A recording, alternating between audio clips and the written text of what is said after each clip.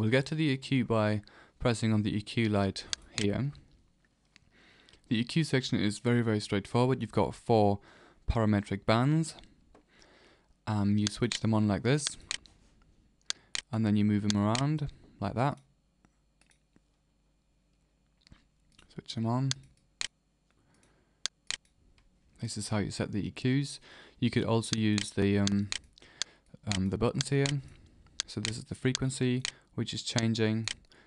That's the the level. And this is the width of, of this area. I'll show you this the width on, another area here, for example. This is the width down there. This means it's fairly wide, which means that as soon as we um, change something like we increase the gain by 3.5 at frequency 1262 hertz, but because we're using a very wide width, it affects um, quite a quite a um, wide area. Whereas if we um, decrease the width, it only affects um, a lot a smaller area, as you can see. And then we can just take the frequency up or down, either up here graphically, or do it on the fader, or we could change the gain. See the gain is down to zero again. See When I go up, the gain increases. When I go down, the gain decreases. And let me show you the effects of the EQ on a sound that uses um, a wide frequency spectrum. And just one of those sounds is here on, um, on my bass sweep channel. This is the channel, a stereo channel. I'll go into the EQ section by pressing either one of those. Alright, let's switch on the EQ.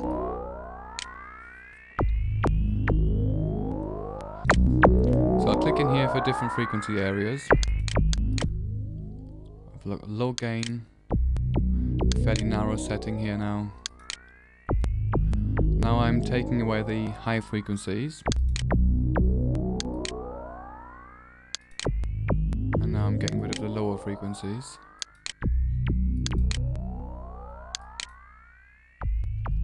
Now you can hear it, lower frequencies are missing now. The levels are a lot lower as well. I'm taking away the mid frequencies, so the low frequencies are back again,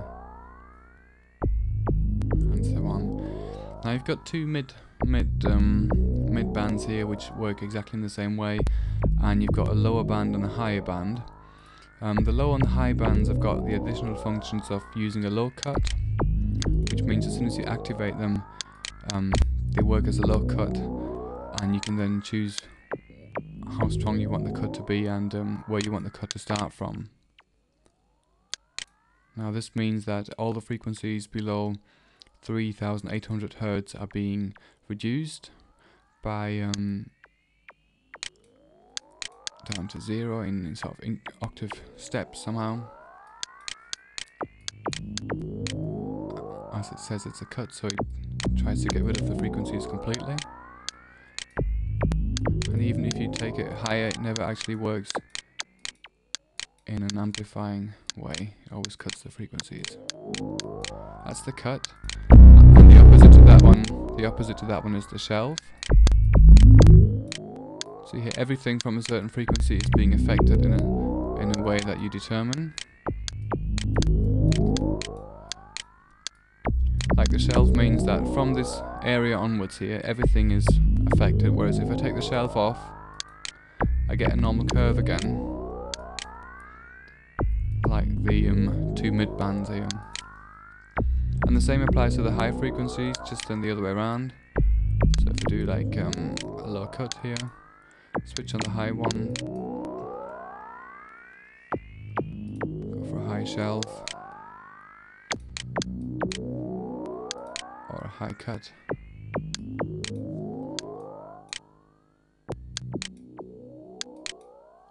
Not much is left from the original sound.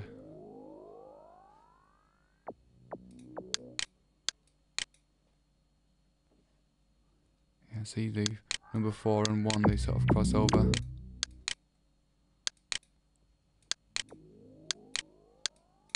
And they cancel each other out.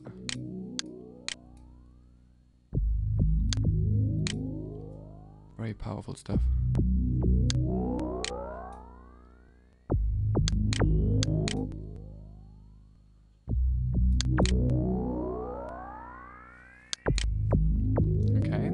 Section. And before we finish the um, EQ section completely, let's have a look at these four buttons down there. The reset button, as you can imagine, let's click on it. Resets the EQ section, we're, we're back to normal again. And um, and down here you've got a little drop down menu which brings up a few presets. The telephone preset, or the hum hiss removal, let's play the tracks as well while we're doing it. Um, these are some of my personal ones. Booster bass and telephone. Now you can make up your own presets. All you need to do is you um you find a, a EQ section that you like. Okay, let's say this was my um my great EQ curve, so I just um do store preset 10. That's all you need to do really so it's down there or if you wanted to you could then just um, double click in the preset 10 area there and just give it a name call it um, smart curve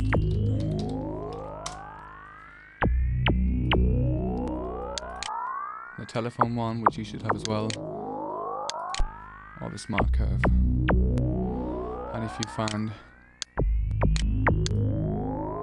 find another one that you like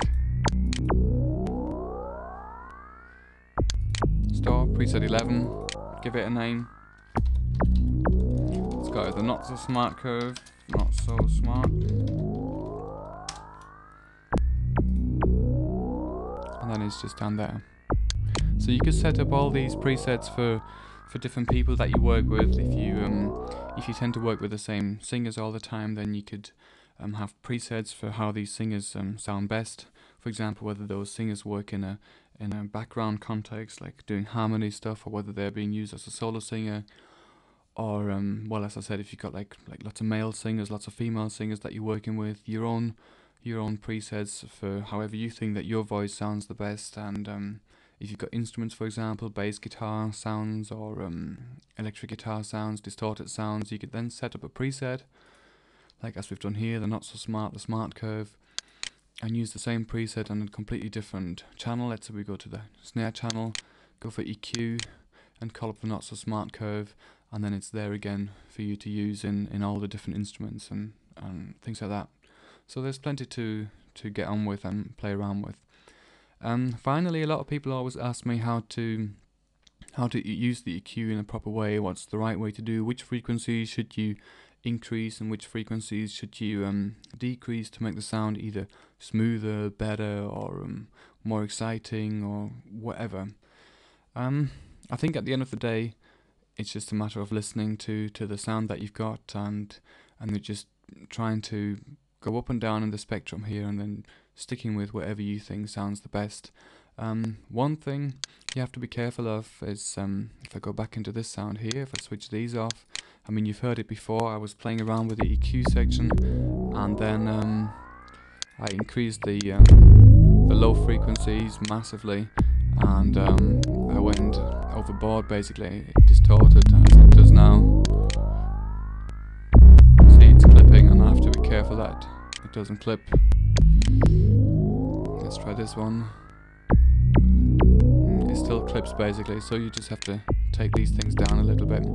Obviously, if you like this sound and um, it's clipping like this, then you could also just re reduce the the um, fade a little bit here.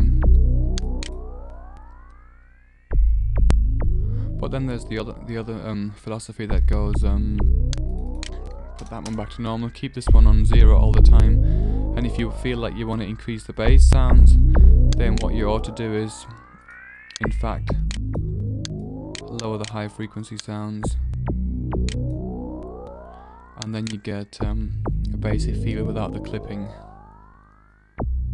Which one you prefer is entirely up to you, to be honest. I think a lot of people do it in, in lots of different ways.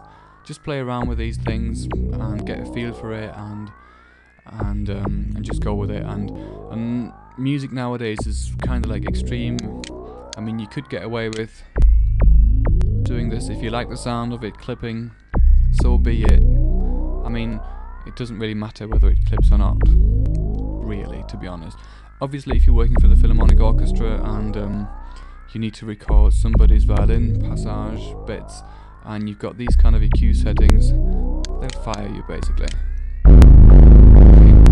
You like this kind of sound and you're working with a company, then um, just go with it.